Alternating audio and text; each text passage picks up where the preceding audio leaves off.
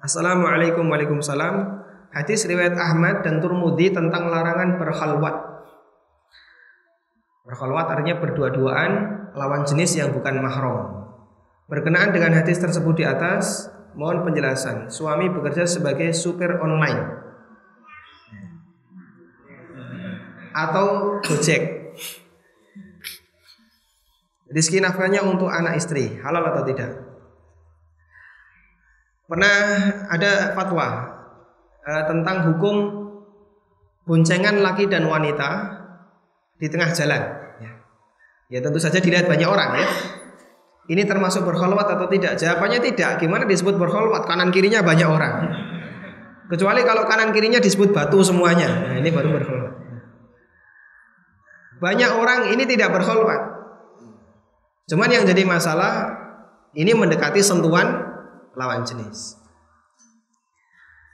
Terus gimana kalau misalnya itu dalam mobil? Sama dengan ini. Kalau dalam mobil, jika posisi dia berduaan kaca ditutup, khalwat.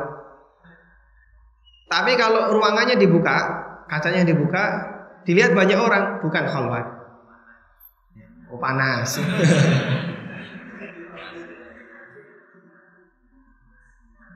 Angin cendela insya Allah dingin ya. AC.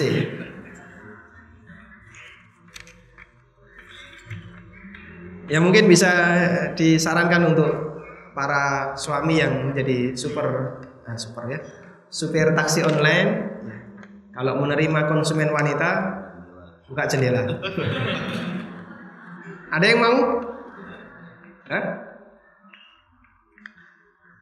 konsumennya pelanggannya suruh buka jendela. Mau nggak pak nggak mau.